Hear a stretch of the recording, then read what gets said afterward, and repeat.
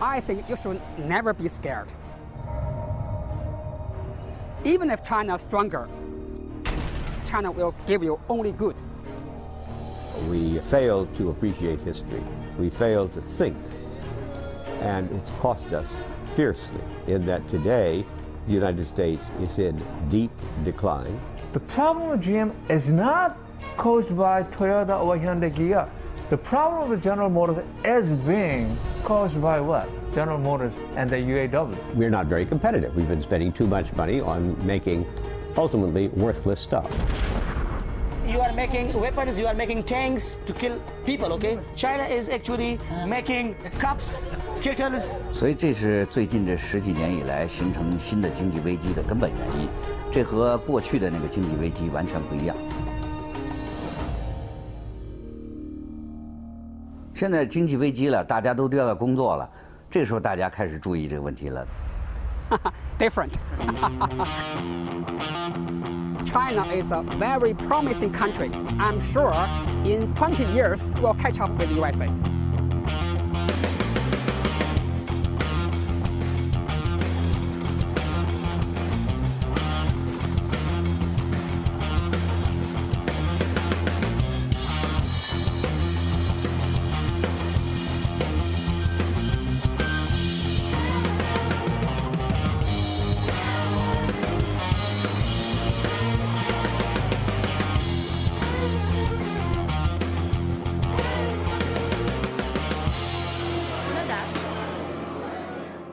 The world hegemon has historically always been the world's most powerful economic nation. The United States hasn't been the most powerful economic nation for a long time now. And it doesn't look like it's going to come back.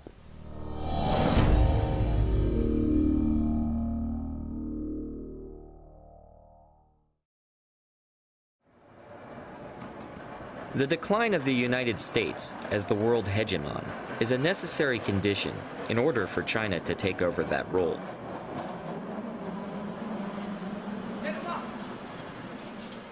But does hegemon necessarily mean empire? Hegemon simply refers to an overarching power. By empire, then, I think it's a little bit like pornography. You know it when you see it. As China unleashes its tremendous talents, as well as the power of its size and productivity. It certainly is assuming a hegemonic position, but I don't think China quite qualifies as an empire right now. But historically, when countries have become hegemons, they eventually become empires. Rome, Britain,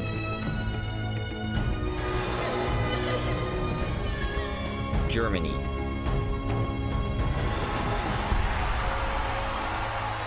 Japan. Russia. And let's not forget the United States.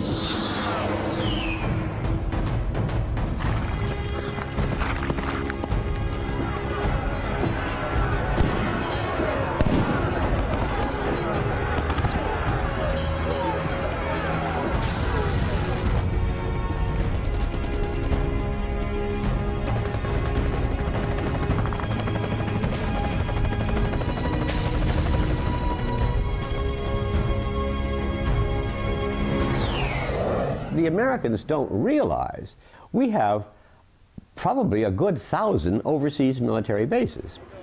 China doesn't yet have this military capability. But what happens when it becomes the world's number one economy? Will hegemony lead it to become the world's next empire? Or does it provide a much needed balance to American militarism? Should we be afraid?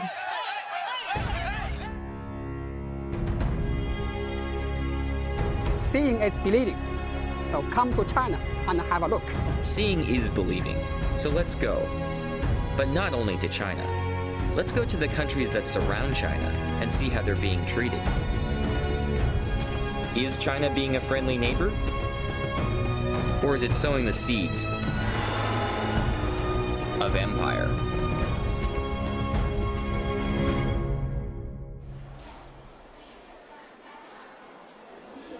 China already uses its neighbors to play big country politics. Busan, South Korea. One of the world's major shipping ports, and evidence of the successful industrialization of South Korea, whose living standards now rival those of the United States. The US considers South Korea a key ally in East Asia, and it hopes that China will help to resolve the growing nuclear threat posed by neighboring North Korea. Like much US policy, it misunderstands Chinese interests. Seoul. The nation's capital has a little more than a quarter of the country's population of 48 million. It sits precariously at 50 kilometers from the demilitarized zone, separating the two sides, in range of the North's artillery. The threat of Seoul's all-out destruction in the event of further conflict has helped maintain this status quo for five decades. Just how serious a threat is North Korea's development of nuclear weapons?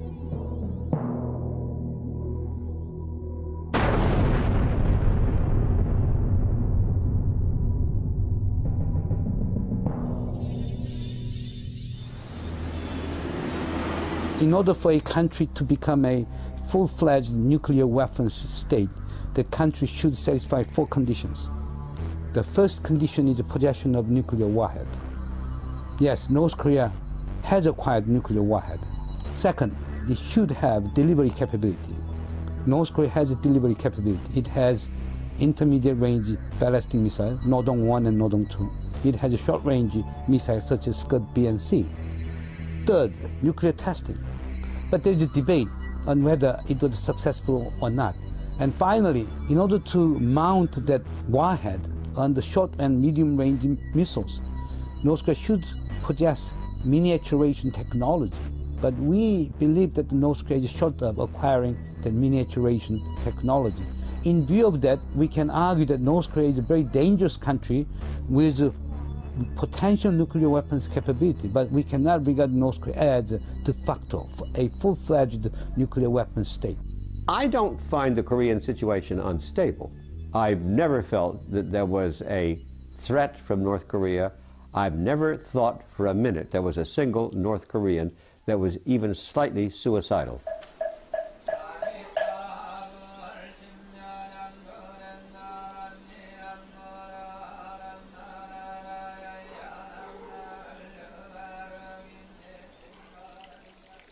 Suicidal or not, a nuclear North shifts the balance of power in Asia. Why doesn't China use its growing strength to help US-backed efforts to disarm North Korea? One of the odd things about the post-war world is the Chinese are absolutely delighted to have Korea divided in two. They used to try and maintain this even back in the Tang Dynasty. Korea was often structurally divided into different kingdoms with different support from the Chinese because it led to structural weakness, inability to stand up to a Chinese domination. Their policy is to prevent war and prevent the unification of Korea. 那个北韩啊，是中国政府手中的一张重要的牌。我们知道都知道，mafia 的教父都会衣冠楚楚的，假装正人君子一样。那他那他需要出去扔炸弹，需要动刀子，需要开枪的时候用谁呀、啊？他需要一个马仔。 所以实际上，你看这些年来，北朝鲜扮演的就是这样一个角色。Initially, you know, when you know, let's say, let's go back to the January and February 2003, what the Bush administration wanted was, you know, press China in such a way that China would impose sanctions on North Korea. China didn't want it. If you're going to work on uh, Korean nuclear issues, you have to understand the Chinese context and the, the fact that South Korea is rich is fine. But if Korea were unified and this rich, it would be the size of former West Germany. That's getting to be a little too big for Chinese comfort.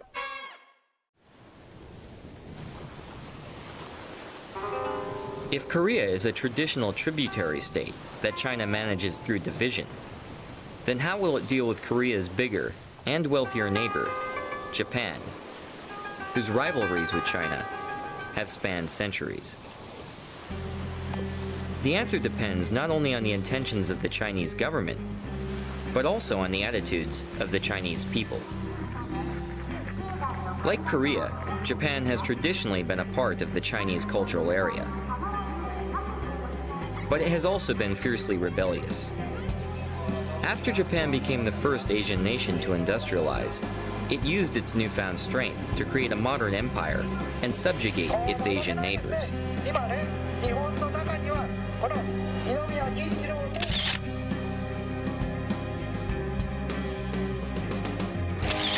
Committing heinous war crimes and killing approximately 30 million Chinese throughout Asia. Understandably, there exists a strong current of anti-Japanese sentiment among many Chinese today.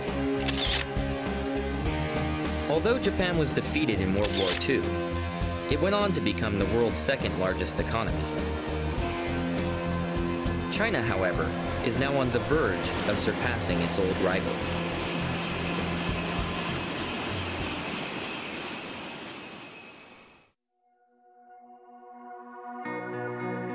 To many, both inside China and out, the 2008 Beijing Olympics were a symbol of China's rebirth as Asia's preeminent power. As part of the Beijing Olympic torch relay, the Chinese decided to bring the torch to Nagano, Japan, home of the 1998 Japanese Olympics. Perhaps as a message to the world that the Middle Kingdom was about to eclipse the land of the rising sun. Along with this message came a tremendous display of nationalism in the form of thousands of young Chinese. Many received encouragement and even financial support for their travels to Nagano from various Chinese consulates throughout Japan.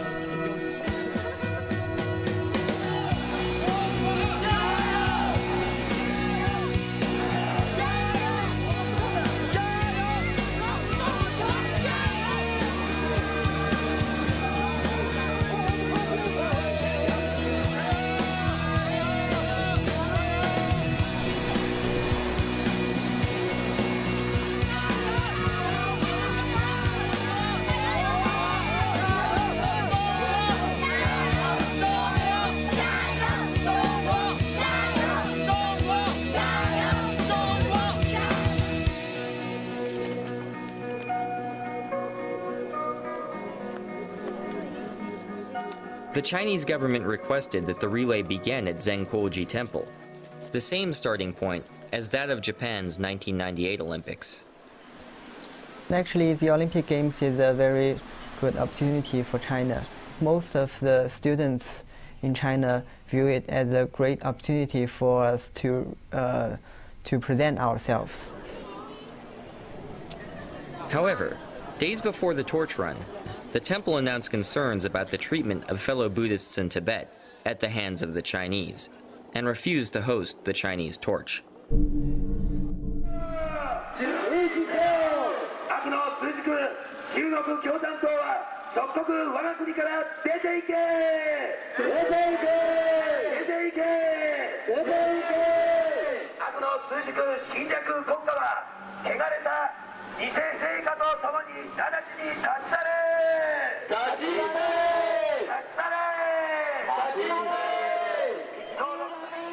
The event attracted a large number of loosely associated protesters who took the torch relay as an opportunity to voice grievances against China.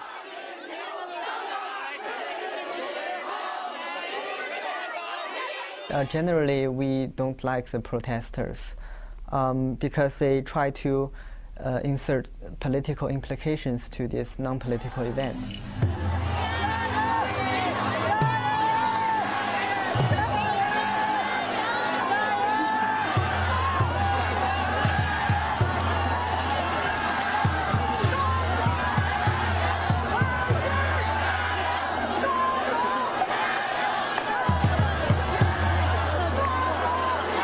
Beyond being a window on Chinese nationalism, the Nagano torch relay provided a glimpse into the situation of some of China's various ethnic minorities, and begged the question, is China really the unified multi-ethnic nation that it portrays?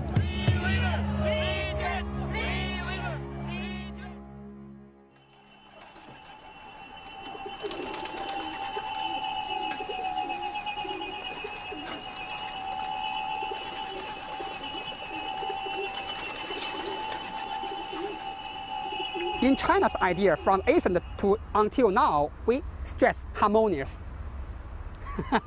harmonious. You know Confucius. Kongzi, Confucius? Yeah. From his period, 2,000 years ago, he teach us, be friendly. No matter where you come from, all corners of the world, we are one family. We are friends. The Olympics provided an opportunity to see if the harmonious society was a reality or simply propaganda. We headed to Xinjiang, meaning new territory, to watch the Olympic torch relay in Kashgar.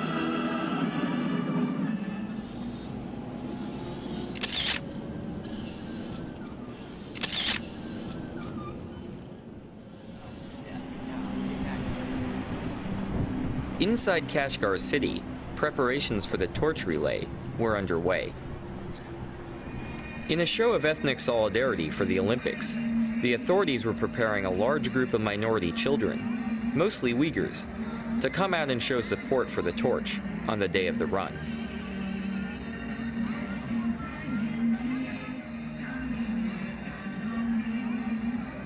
The event itself, however, was sealed off from the public.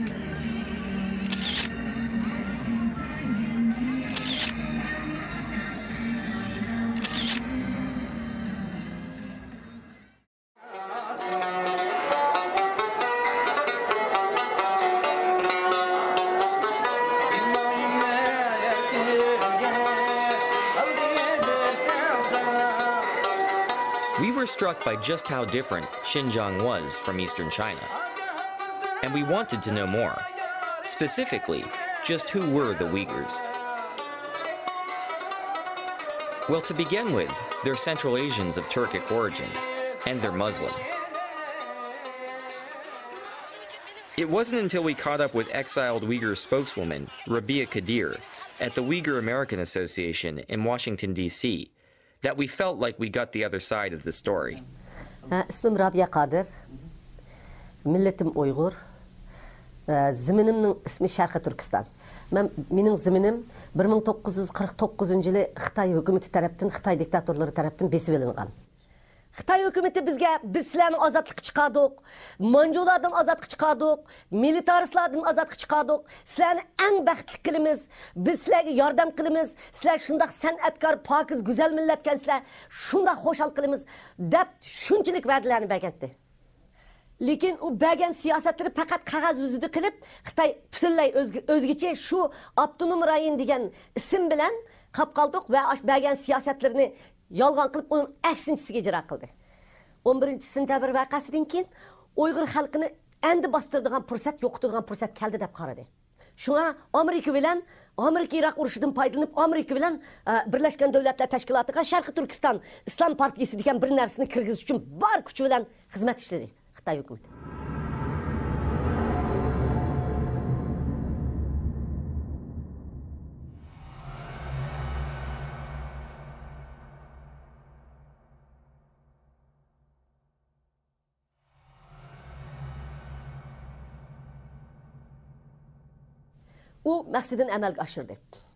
这个这个责任在布什政府，中国政府从来都有这样的企图，但是一般来说，西方国家是不会跟他在这方面合作。可是非常不幸的是，布什政府居然鼓励了中国政府，就是把新疆的这个反对派列为恐怖组织。我想这是非常不公平的。biz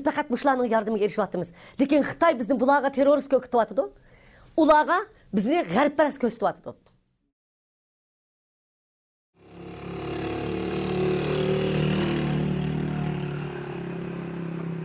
there are two nations which are fighting in the world. One is America, one is China. So America is using brutal way, which is war, and there is a lot of losses. And uh, China is using a peaceful way and civilized way, where there is no loss. Pakistan!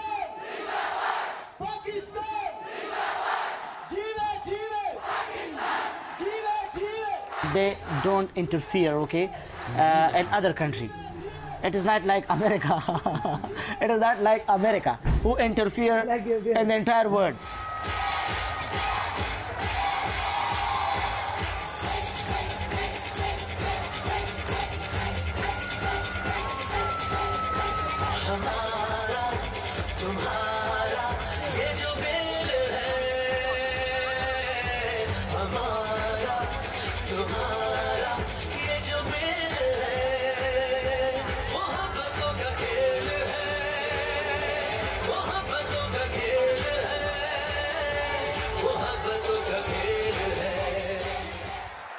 United States is one of the largest donors of foreign aid to Pakistan. But most of this money is spent on American made arms and weapon systems. The Pakistani military justifies such spending as being necessary to defend against the imagined threat of its archenemy, India. American aid, therefore, does little to help actual Pakistanis.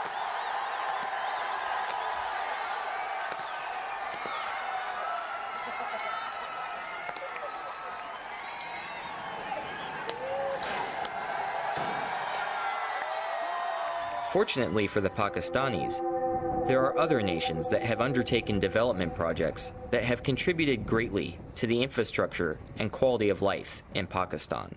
China has been our friend for the last 50 years. If Pakistan had any problem in the past, China came and uh, it solved the problem of uh, Pakistan. The Karakoram Highway is the highest international roadway in the world. It runs over 800 miles from Kashgar in western China to Islamabad, Pakistan. The KKH is a joint venture between China and Pakistan that provides a vital link between the two countries. A quiet graveyard just off the highway commemorates the 82 Chinese workers who lost their lives in Pakistan during the 20 years it took to complete the construction of the KKH. The Karakoram Highway would not exist today were it not for the funding, hard work, and sacrifice of the Chinese. Before the construction of KKH, the people of northern areas led a very poor life. After construction of KKH, we experienced different sort of changes culturally, economically, socially, and politically even.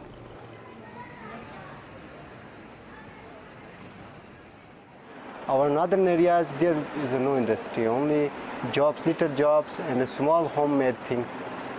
Uh, China is the only one of the country who provide the very cheap stuff for our people. We are six hours drive from our border to China. So easily we are going to.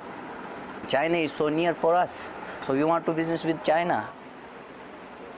In addition to inexpensive consumer goods, Chinese technology is also brought to Pakistan through the Karakoram. The Chinese technology is very cheap, so the local authorities and Pakistani government accept uh, their bids and they allow them to establish their uh, projects. Uh, there is uh, an agreement between Chinese uh, government and Pakistani government uh, for widening the KKH, for laying the railway line as well as gas pipeline so the local population is very happy. They will benefit it. The Chinese have also begun other mega projects in Pakistan, such as investing $200 million in the construction of Gwadar Port on the southern coast of the country. Gwadar is considered by the Chinese as, as their avenue to a warm water port. A port which is strategically close to where oil supplies go through, a port which gives them access to the Indian Ocean and the Arabian Sea, a port that they can use as a trade corridor. So there's the whole idea of linking Gwadar through uh, Balochistan onwards up through northern Pakistan, through the Karakoram Highway, going on through Xinjiang and onwards into Central Asia. While most of these plans have yet to become reality, they reflect the ongoing and serious interest of the Chinese in maintaining close ties with Pakistan.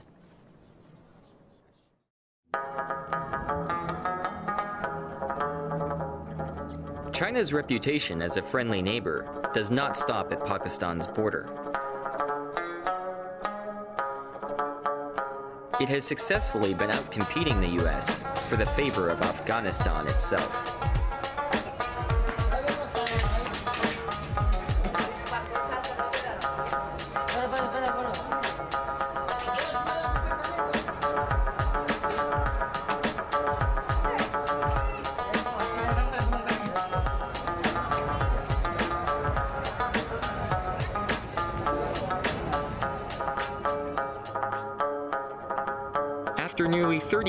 Of war, abandoned artillery litter the landscape of Afghanistan like tombstones marking the graveyard of empires. We have enough experience with the war. We uh, fought the Soviets. At the end, that superpower was broken.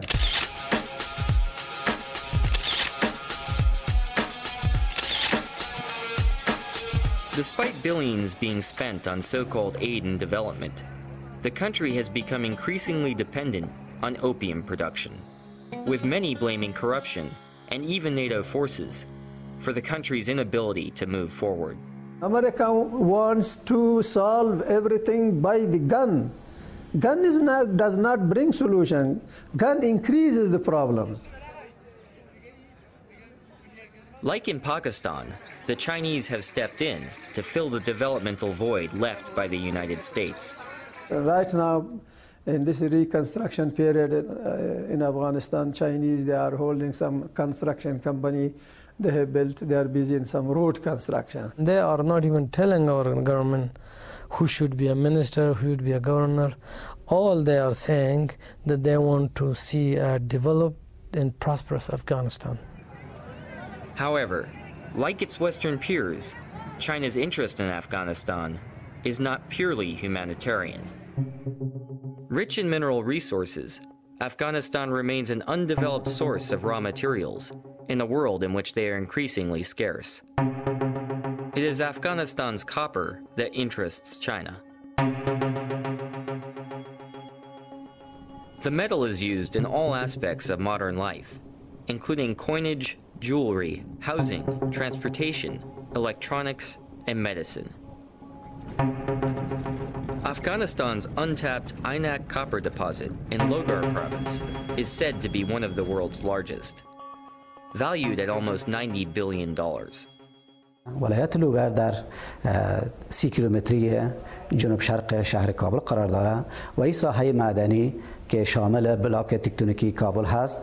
در اینجا سه معدن بزرگ وجود دارد که عبارت از معدن عینک، معدن دربند و معدن جوهر. البته معدن مثل عینک بزرگترین از این معدن است و این ساحه.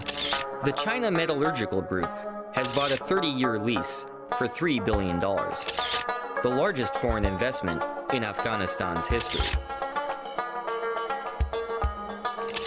The royalties alone will cover almost half of the Afghan government's annual budget.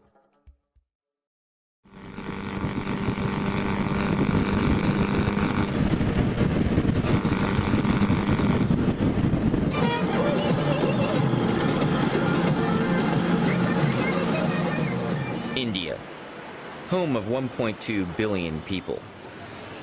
In 20 years, it will have a bigger population than China. Its economy continues to grow year after year, and it's the world's largest democracy. Could India provide a cultural and strategic counterbalance to China? One of the main balancing forces in the emerging world of Asia, South and East Asia, is going to be India and China. That neither is going to feel comfortable with one achieving a position of superiority, least of all any claims to hegemony. I would assume Asia is a target for the Chinese. Uh, they would like to put Asia under, under its control uh, in economic terms, in political terms, in uh, strategic and military terms. Uh, this is where China has been active. If you were to look around um, Asia, uh, China has replaced the US as the largest trading partner for almost every country in the region. India China trade has been growing rapidly, and a trade route has even been opened that directly connects India and China through Tibet. Indeed, India China trade has crossed India US trade in terms of sheer numbers. There's a growing relation, trade relation, bilateral relation between these two countries. I think that gives Chinese a certain power, uh, which people will look over their shoulder twice before they do or say something that gets Beijing upset. Chinese have done committed a lot of atrocities, and they've been allowed to get away with it because they've been isolated for so long. Um, there's a, there's a period where no one knows what went on in China, and now that they've opened up, they're still sort of acting with impunity because of the economic incentive. countries aren't willing to speak out. Trade has lately become very China-driven. India is always very careful about the Tibet issue and also with its vis-a-vis with its relation with China? I think it's a tightrope that New Delhi has to walk between its uh, increasingly closer relations with uh, Beijing and also keeping Tibetan refugees population satisfied as much as we can.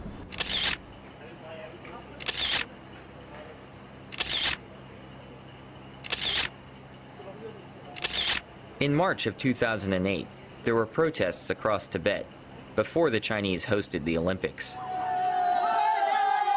Many Tibetans in India decided to show their support by marching towards Tibet.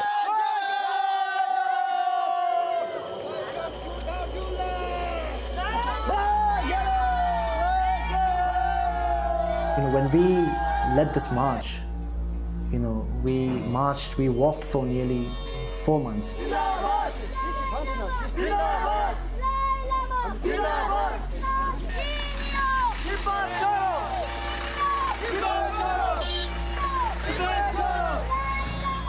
Indian central government, uh, they have sent us an order saying that you can't move out of this district, Kangra district. India will not allow Indian territory to be used by any Tibetan protesters to undertake any political activities. At Beijing's request, Delhi had its own police enforce the wishes of the Chinese government by cracking down on the protesters. Yeah, you know, um, China is very China is very clever, and it can use any country for their own benefit at any point of time.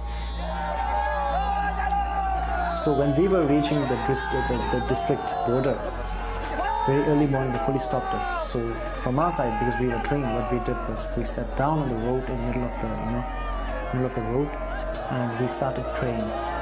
And some people were crying, and we all got locked ourselves. We started praying, and that made it impossible for them to get angry. You know. And you know they have their own responsibility. They have their duty to perform. They have to arrest us.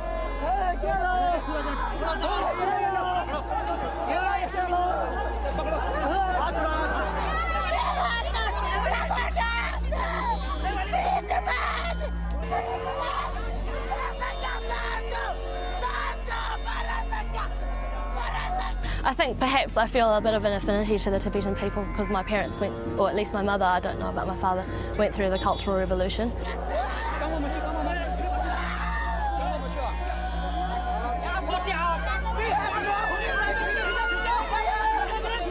it's, it's just weighing on me a little bit because everyone thinks I'm Tibetan when I'm here, which is lovely because I've really grown to love the Tibetan people. But before I came here, I was warned by a lot of local Indian people and also tourists that had been here. When I told them that I was Chinese, they were really surprised.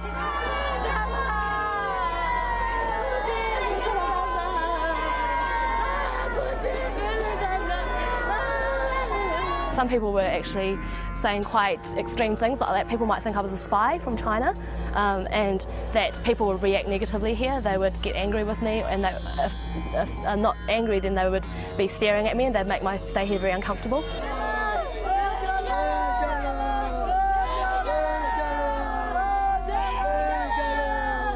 I had to decide whether I was going to tell people here that I was Chinese and unfortunately I decided not to.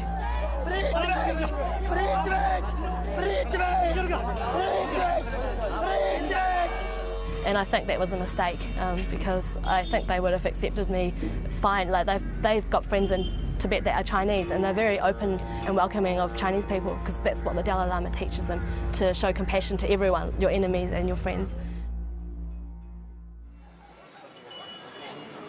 India is not the only country where China tries to control Tibetans outside of its national borders. The T word is predominant vis-a-vis -vis China's relations with Nepal. I think what the Tibetans are doing here, what the Americans are doing here vis-a-vis -vis Tibet is of utmost concern to the Chinese. it's pretty clear that uh, the, the Tibetan protests, um, the Chinese don't like it.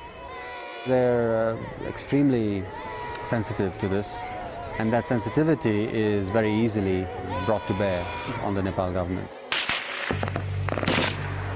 For 10 years, a bloody civil war raged across Nepal as Maoist rebels took up arms against the king, and the Maoists gained popular support. After the king was forced out of power in 2008, the Maoists were elected to run the new government. The party's name is a clear tribute to China's Chairman Mao. 实际上，他们不但是从意识形态上是毛泽东的那个那派别，而且他们一直在在那个财政上和武器装备上都得到中国政府支持。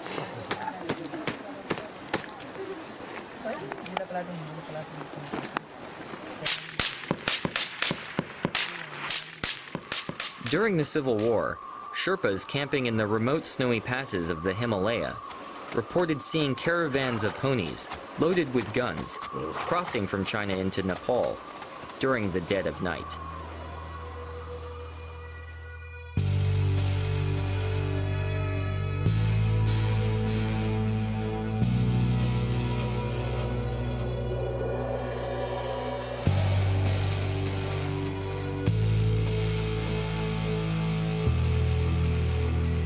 Maoists stormed the offices of the Nepali Times and physically assaulted Kunda Dixit and his staff in an attempt to silence the press.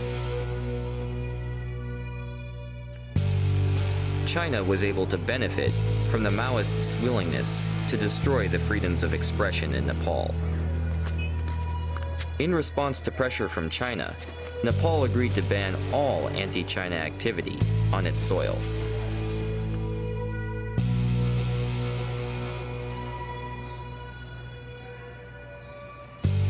China is bringing Nepal within its orbit. But what happens now? Once China controls a territory, what's in store for its future? Let's take a look at Hong Kong.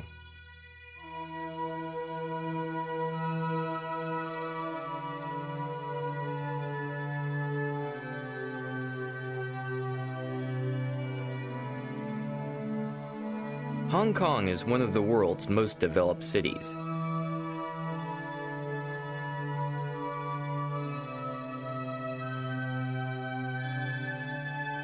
An icon of Asia. The Pearl of the East.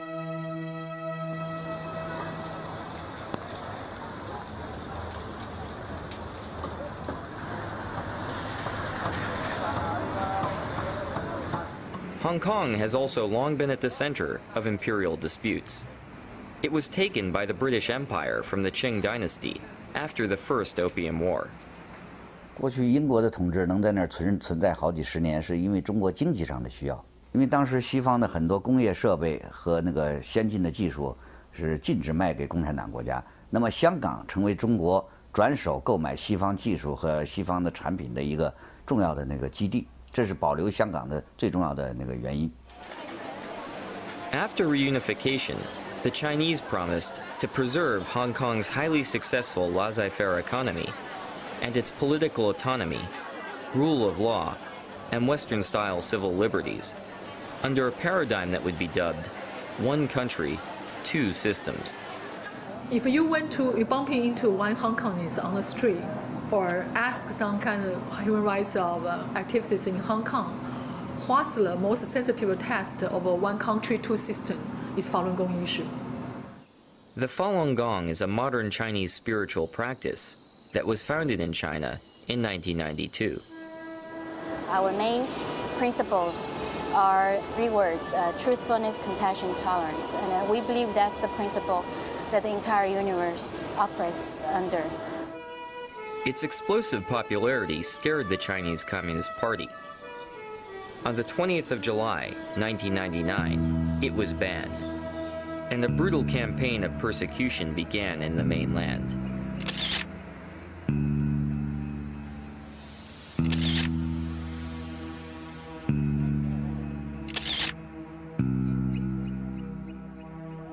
Falun Gong practitioners sought refuge all over the world, including Taiwan, Japan, the US, and even Hong Kong. Compared to China, Hong Kong remained an island of tolerance for the Falun Gong. Even today, as busloads of tourists from the mainland come to visit Hong Kong and take in the view from Victoria Peak, Falun Gong practitioners are free, under Hong Kong's constitution, to peacefully demonstrate in support of their beliefs, including displays about human rights violations by the Chinese government. On the surface, it would appear that one country, two systems is working. Or is it? One of the issues raised when you introduce Hong Kong is whether or not the, the Chinese idea of one country, two systems is stable. I don't think so. Under Beijing's pressure, the Hong Kong government routinely violates its own constitution by refusing entry to Falun Gong practitioners who try to visit the territory. Every country have an immigration control. They are entitled to refuse someone, no problem. But racial and uh, religious discrimination cannot be a reason of refusing people to enter. So when we talk about one country, two systems, it's like, uh, you know, gradually really disappearing. Is one country, two systems starting to become one country, one system? 但是收回香港那个九十年代的时候，香港在政治色彩并不浓，但是现在香港的这个残存的民主，成为好像中国民主的一个导火索，一个重要的榜样，所以共产党现在需要呃消灭香港的民主。 Teresa Chu herself was deported when she attempted to visit. Chinese leader Hu Jintao was visiting there. We have 1,000 Taiwan Falun Gong practitioner, from six-year-old kid to 80-something aged old lady, were violently repatriated from Hong Kong to Taiwan. In detention room, we have no water, no refreshment, no place to rest. They use uh, some kind of black wrap me like this way from here until the knees.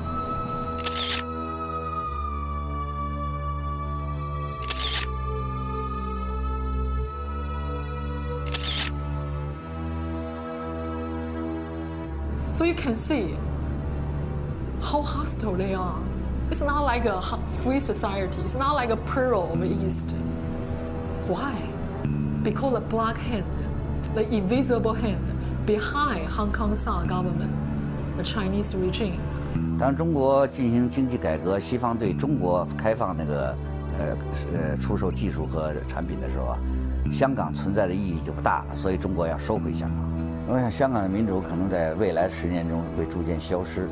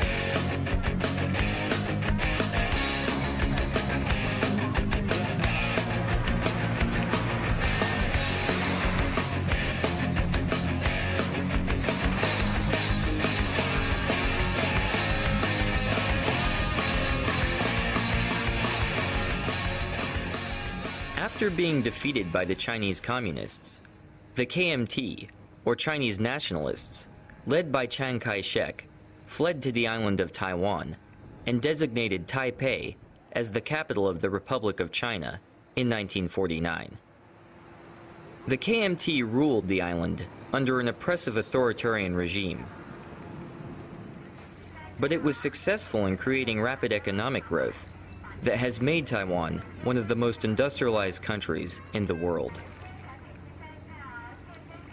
Eventually, the KMT's iron grip gave way to a democratic system in Taiwan, creating the first true ethnic Chinese democracy in world history. Could Taiwan be a model for the future of mainland China? If democracy exists and um, and is established more is strengthened in this region, I believe it's not just it will not just benefit um, the people in Taiwan, but also benefit surrounding countries, especially China. The youngsters on the mainland, they're, they're gradually uh, changing their worldview. You know, they're not that uh, inward looking anymore. They can see by themselves what's going on in, in Taiwan, especially in uh, Taiwan's uh, uh, democratic developments.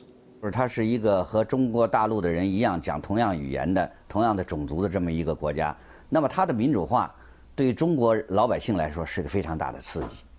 In the long run, we can change the very nature of the Chinese communism, and hoping that someday that the mainland China can be converted into a, a free and a democratic society.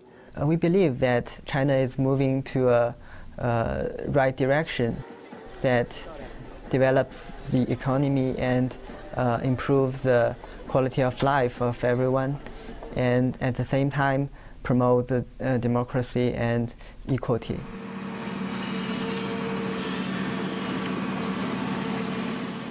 As the Chinese economy has grown, a process of normalization between Taiwan and the mainland has begun. I hope that the mainland and Taiwan could come together to work out a better system and also be not more connected.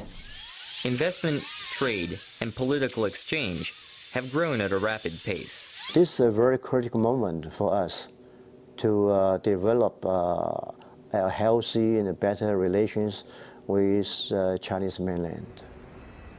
But is this ultimately good for Taiwan? Or does economic integration with China pose a threat to Taiwanese democracy. 共产党使用了很多，除了武力的压力以外，还使用了这个金钱的引诱，引诱台湾的商人到中大陆去，给他们特殊优惠的政策做生意，让他们赚大钱，回过来头来再来影响台湾的政府。我想这个这种形式呢，对台湾的民主政权是个巨大的考验。 怎样保持自己的民主政权不被共产党吃掉？they try to create this image that, um, at least symbolically, that they are a peaceful country, they are rising peacefully, and um, they wish to, to deliver this sense of uh, sincere to the world that we are rising economically and politically, but in a way that uh, world stability will be maintained. We need to accept that uh, China become really a big power in the world, but uh, um, the problem is that uh, what kind of China we want uh, in the future in the 21st century.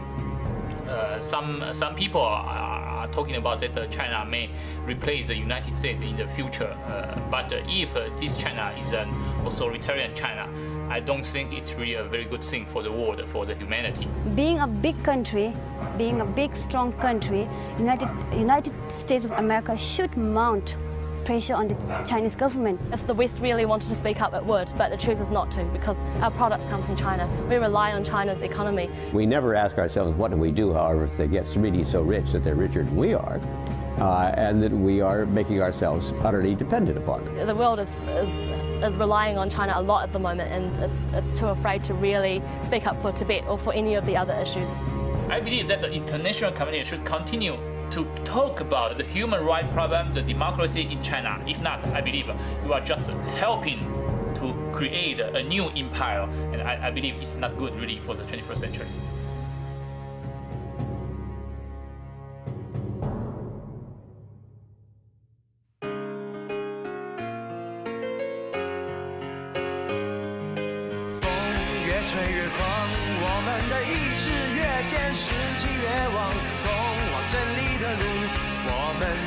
反复勇敢去闯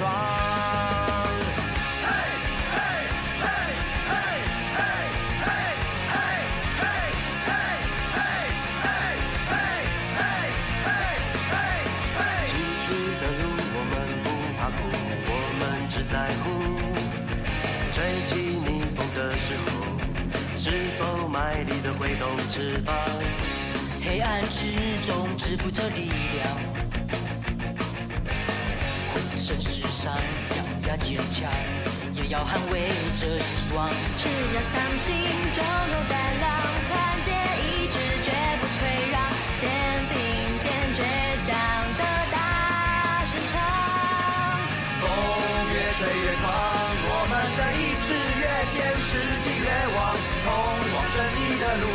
我们义无反顾，勇敢去闯。风越吹越狂，我们的步伐更向前跨。更坚，士气更旺，逆境中停止诽谤。